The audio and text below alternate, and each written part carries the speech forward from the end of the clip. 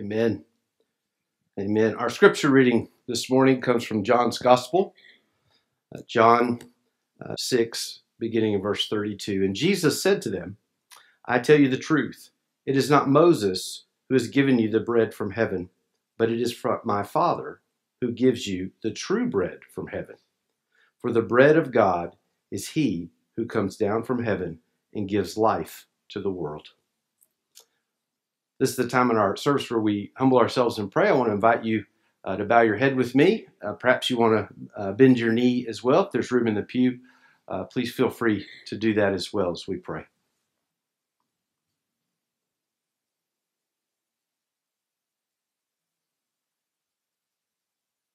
Father, we just come before you and we bend our, our heads and our hearts where we humble ourselves before you. Thank you, Lord. Thank you that you are our salvation and our hope. Thank you, Lord, that we have hope, that we have you.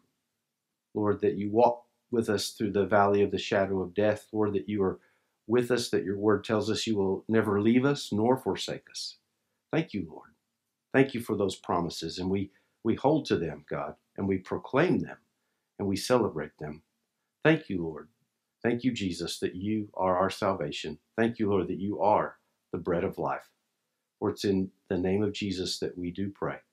And all God's people said, Amen. And pray.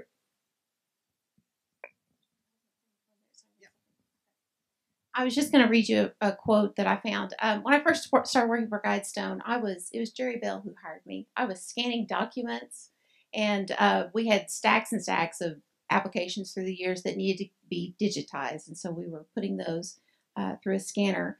And I ran across a quote by a son who was helping his mom fill out the application, and it so moved me. I wrote it on a post-it note because you know everything's really confidential. Guys, y'all tell him I did this, but I didn't. I don't any names or anything. But I, I wrote this quote down, and he said, "Thank you for including widows in the Mission Dignity program. Such action is a tribute to the wives who served beside their pastor husbands as partners in ministry without pay." For a person like Donna, um, uh, many of these women did not work outside the home. In fact, they served literally right alongside their husbands in ministry, and they did so without pay. And so when we say that they're surviving on their Social Security, many of our uh, ladies that we serve um, are making between seven and eight hundred dollars a month, and that's what they're surviving on right now. And so it is it is logical for us to come alongside them and help them out on a monthly basis. And so once I got hired into uh, Mission Dignity, it was a perfect fit for me. It allowed me to do um, great ministry work to these uh, people, but um, also help to provide for my own family. And so today, as you give, I want you to understand that Donna is is a true representative of all the people that we serve. They are humble. They are they've been hard workers. They have given to their last breath to the kingdom of God and that is who we take care of. And I, I just want you guys to know I talk to them every week. I, um, I, I see their applications come through.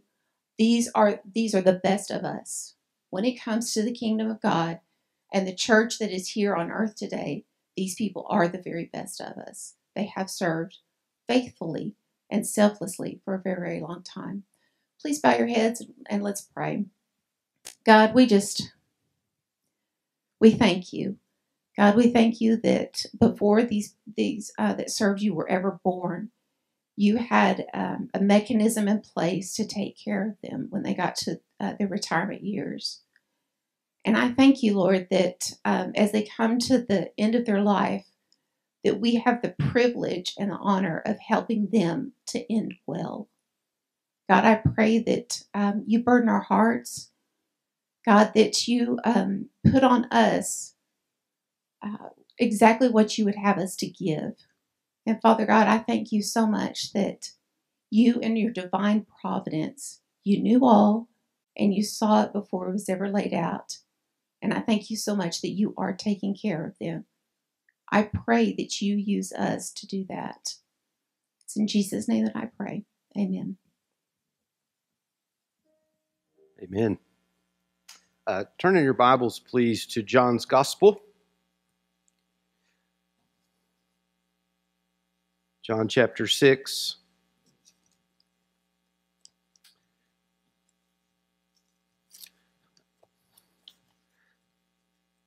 Beginning in verse 26 this morning.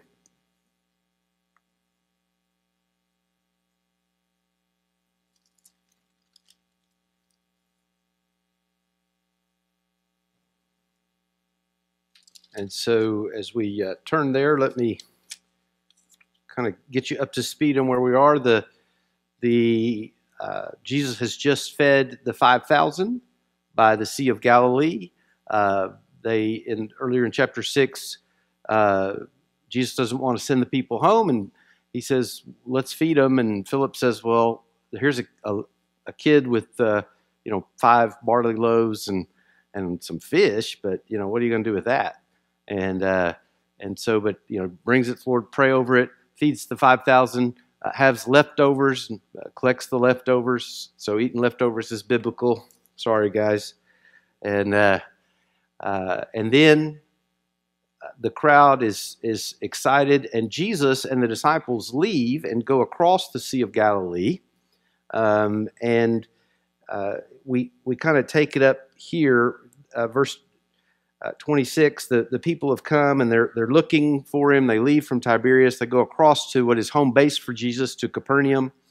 Um, and they catch up with him. And uh, in, verse 20, in verse 25, it says, They found him on the other side of the lake and they asked him, Rabbi, when did you get here? So he's fed all these people. They're excited. They saw this miracle. They've listened to this great teaching from Jesus. And Jesus answered, I tell you the truth. You're looking for me not because you saw miracles or saw miraculous signs, but because you ate the loaves and had your fill. Do not work for food that spoils, but food that endures to eternal life, which the Son of Man will give you. On him, God the Father has placed his seal of approval. And then they asked him, Well, what must we do to do the works of God requires?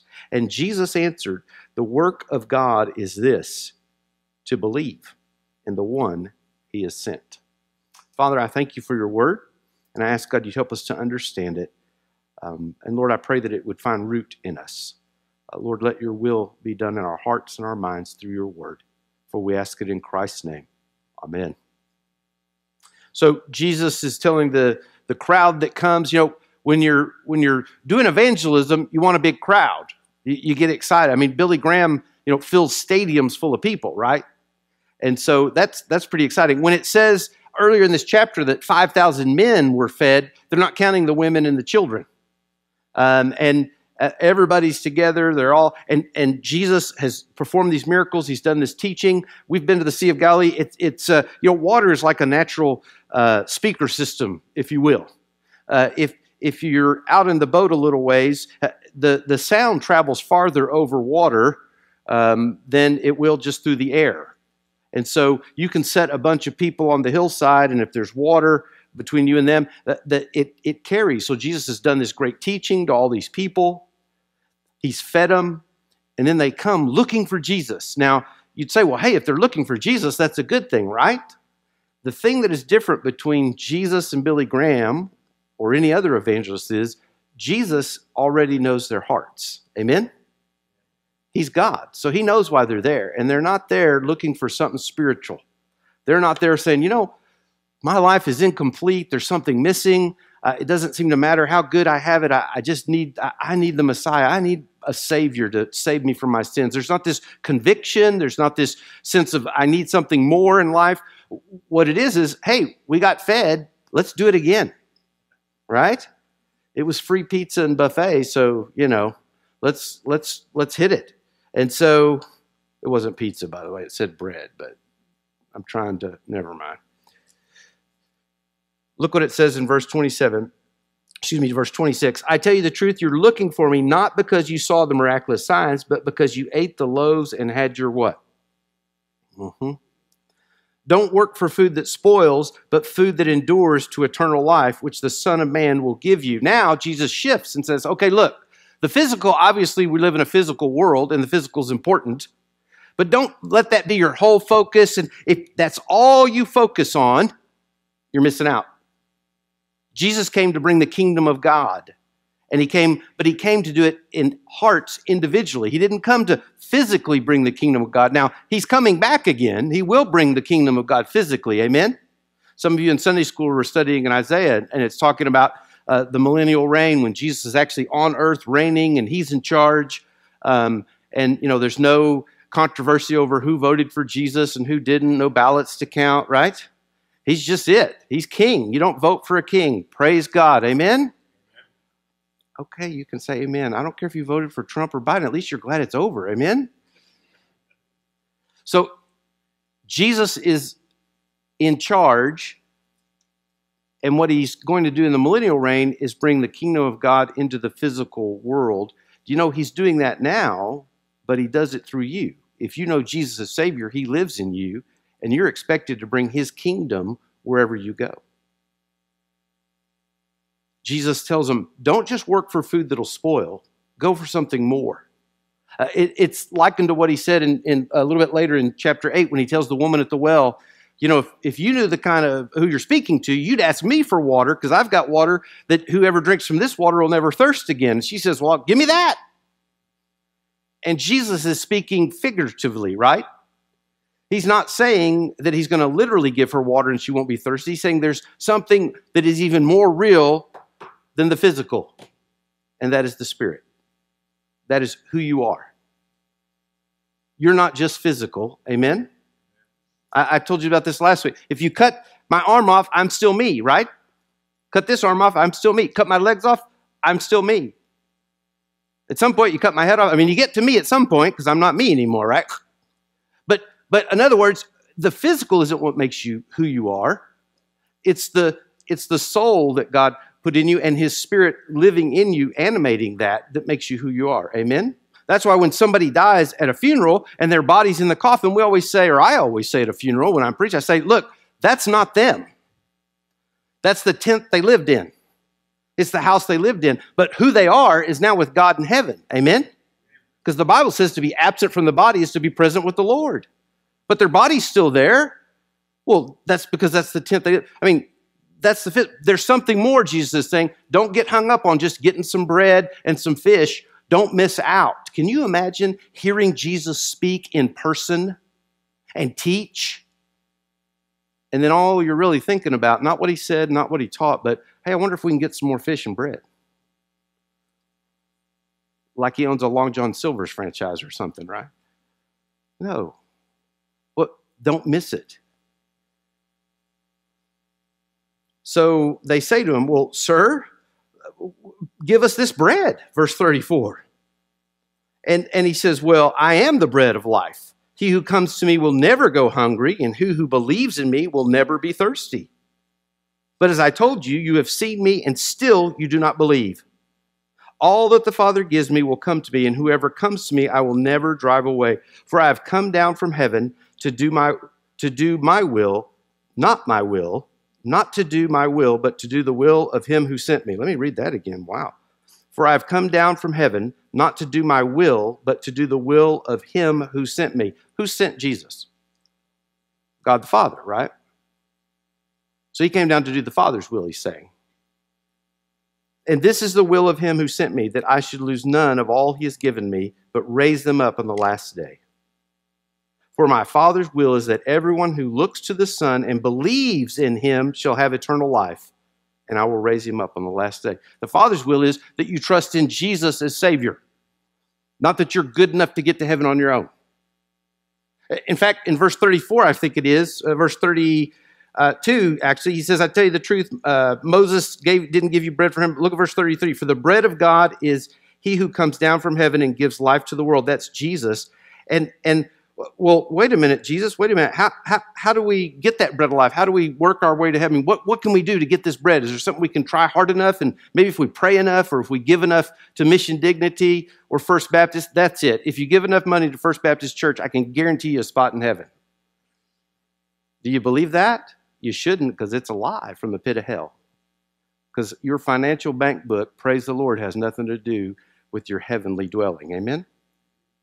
It may be how nice you live here, but it surely doesn't have anything to do with how you live in eternity. And Jesus says, you want to you want to know what work you need to do? Here's the work. You can work your way to heaven by this. Believe in the one who sent him. Look what it says in verse 29 of your Bible. What does it say? Somebody read it out loud for me.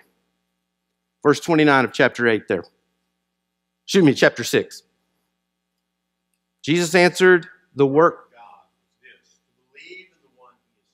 The work of God is this to believe in the one he has sent. What's the work? To believe. In other words, not that you're to, just to trust in who he has sent and put your faith in him. You trust, when you get on an airplane, do you offer to help the pilot? Do you want to go up front and say, you know, it's been a little bumpy back here. Let me show you how to do this better. No, right? You just tighten the seatbelt. And you trust that they're going to get you there, right? See, that was an act of faith. When you got on the plane and they shut the door and you felt that and they took off, it's all over but the crying now. You couldn't change it if you wanted to. Amen? See, the belief happened when you said, I, I, not the purchasing the ticket, not the not checking the bags, but when you got on the plane and you took that seat and they shut that door, that's belief. That's trust in. You trust that pilot to do what he's been trained to do, what he's been called to do. You see, what Jesus is saying is, you trust in who I am and who I've been, what I've been called to do, because you can't do it yourself any more than you could fly the plane yourself. You can't get yourself to heaven unless you believe and trust in Jesus. Amen? Well, we're celebrating the Lord's Supper today, and that's what it's about. That's what the, the bread and uh, the, the body of Jesus is about. When he says uh, in verse 35, I am the bread of life, he who comes to me will never go hungry, and he who believes in me will never be thirsty. Is he talking literally? Hmm? I take the Bible literally, but sometimes Jesus is speaking figuratively. What?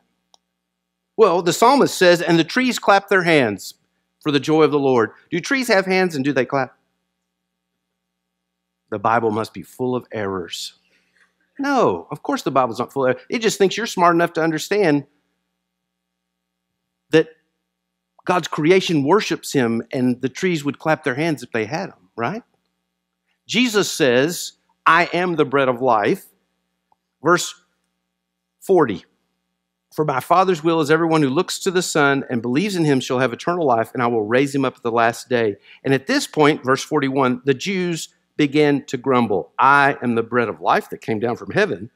Well, isn't this Jesus, the son of Joseph, whose father and mother we know? How can he now say, I came down from heaven? And Jesus answers, Stop grumbling among yourselves. No one can come to me unless the Father draws them. Verse 60. On hearing it, many of his disciples said, This is a hard teaching. Who can accept it? Because he says, Well, you got to eat my flesh and drink my blood. Now, has anybody ever read that and thought, What? What does he mean, eat my flesh? Maybe you've heard that in church, so it just seems now. Think about if the first time you heard it. You know, to be a Christian, you have to eat the flesh of Jesus and drink his blood. What? I was watching a movie and it was a. A Christian in India, and it was like in the 1800s, and the the the Indian says to him, he says, "You know, I've I, I know a, a, a white man. He he's a cannibal." He's like, "What?" He goes, "He says he eats the flesh and drinks the blood of Jesus."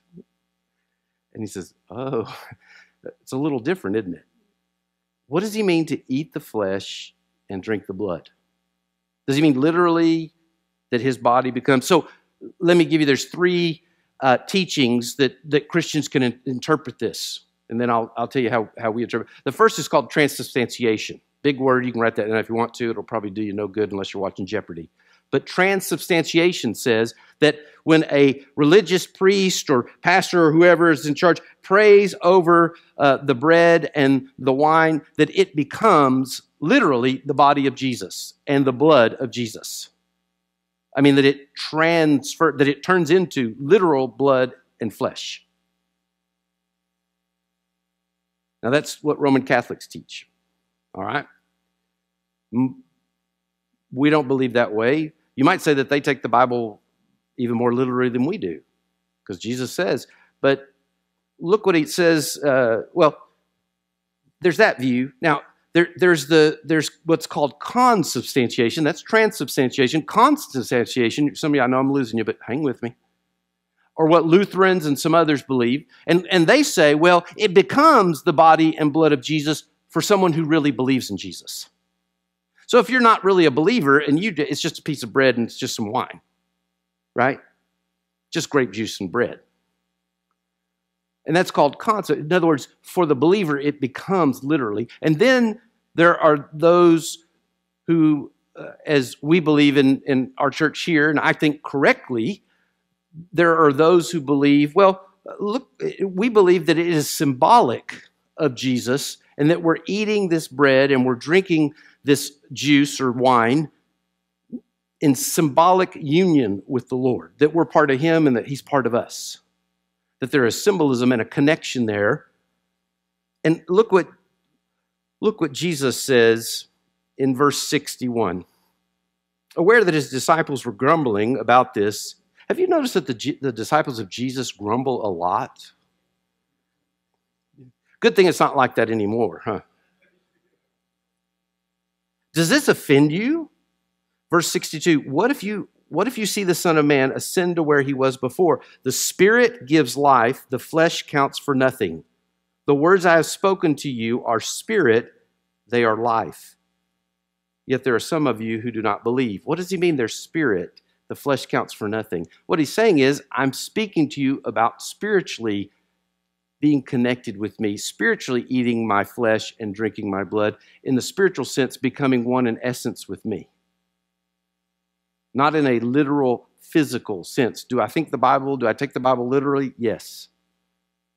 Do I believe the Bible is inerrant, infallible Word of God? Yes. Do I think Jesus was teaching here that when I pray over this Lord's Supper, that when you guys take it, it's the body and blood literally? No. It's symbolic. It's reminding us who we're connected to. You know, Jesus didn't tell people to go out and build beautiful churches. I, have seen the Sistine Chapel, I've seen the Vatican, I, have seen uh, and worshiped with uh, folks in Brazil that it's literally a pole barn with a roof on top and nothing on the sides. I mean, from one end to the other. And can I tell you this? It didn't matter because God doesn't care about the building, He cares about the person. Amen? And so he said, when you eat this bread and you drink this cup, you know, it, it is something that can be done anywhere in the world. The poorest of the poor will eat something, and the richest of the rich are going to eat something. Amen? Doesn't matter how fancy you have, you don't have to have stained glass to have the Spirit of the Lord, is what he's saying. When he says, What I'm speaking to you is spiritual, he's saying, Hey, don't miss the truth that I am the way of salvation. Don't be hung up and say, Well, wait a minute, what about bread? He, he again is trying to relate to those people. Don't get confused like some of you look right now. Right? The ones wearing masks, I can't tell if they're smiling or sticking their tongue out at me. All right, so verse 65, he went on to say, This is why I told you that no one can come to me unless the Father has enabled him. And from this time, many of his disciples turned back and no longer followed him. And he says to the twelve, do you not want to leave too? Jesus asks. And Simon Peter answered him, Lord, to whom shall we go? You have the words of eternal life. We believe and know that you are the Holy One of God. So Peter got it. Which, if you've studied anything in the Bible, know anything about Peter, that's a miracle. Amen? He's usually, I mean, he's first on the boat and last off every time because he just doesn't get it. But here he gets it. You're, you're the only hope we've got. Well, why did all those others leave? Well, Jesus made it hard on purpose. Being a believer can be hard, amen? Standing up for your faith and saying, I identify with Jesus, is tough at school or at work. Not saying those jokes or, or drinking with those guys or uh, stealing, you know, padding your expense account like everybody else does. Those are tough. And when you say, well, I don't do it because, you know, the Lord knows. What? So Jesus said, as often as you eat this bread and drink this blood, you proclaim my death until I come again. We're going to partake of the Lord's Supper. I'm going to ask the deacons to come. They're going to prepare this tray. We're going to do it a little differently. Again, COVID has affected everything. There is a little in your pew, you'll see a little juice and bread thing. Uh, looks like a little plastic cup. And as the deacons come and prepare this table, let me give you some instructions. Do you have your little plastic cup? Right. So there's two two layers on that. Um, can I borrow yours for a minute? Thank you. You have another one? Okay. So this little tab, bend that tab down. I don't know if you can see, but it's got a little point. Bend that point down and then back up. And do you see how the, the, the clear with the purple stuff kind of separates? And you can peel that back and you see that little wafer? Right? That's the body of Jesus. Be careful. Right? When you eat it, you'll know it's not really flesh because it tastes like styrofoam. But that's not the point, is it? So you're going to peel that first. Then, after we take that, then you're going to peel the other. But don't peel them both because you'll get to the juice. And um, I don't want you to get all messy. So, all right, that's the instructions. If if you accidentally pull it off, it's okay. You won't. Oh, you've got another one. You said nothing bad will happen to you. All right. So we're taking the Lord's Supper, and as they prepare the table, um, I want to ask you to do something. Prepare your heart. So the Lord's Supper, what we're going to partake, what we're going to celebrate here, is for those who have trusted Christ as Savior and those who have followed Him in believers' baptism. So if you know and have publicly confessed that Jesus is your Savior, and you've been baptized publicly, then you're welcome to participate. You may not be a Baptist, we don't care. If you've trusted Christ as Savior and been baptized, then you're allowed to participate with us in the Lord's Supper. If you haven't, or if you're not sure, then just don't do it. This is not, no secret spiritual rite that will mystically get you into heaven. This is just a reminder for believers that we're connected to the Lord, that we belong to His, Him. So, uh, our pianist is going to play for a few minutes. They, they've prepared the table, but Paul tells us in Corinthians don't take the Lord's Supper, don't, don't participate with an unclean heart. Don't go there and do that if, if, you, if you've got sin in your life. So, I'm going to ask you to bow your head. And would you just ask the Lord, God, is there anything in my life you don't like? Is there anything? And, and ask him to put his finger on that and just speak in your mind. And then in your mind, would you confess that to him and ask his forgiveness? Well, we just, Lord, in our hearts to you, confess our sins and ask, Lord, that you would forgive us and make us worthy, Lord, because of Jesus, to receive um, this special time of fellowship with you and with other believers. We ask it in Jesus' name. Amen.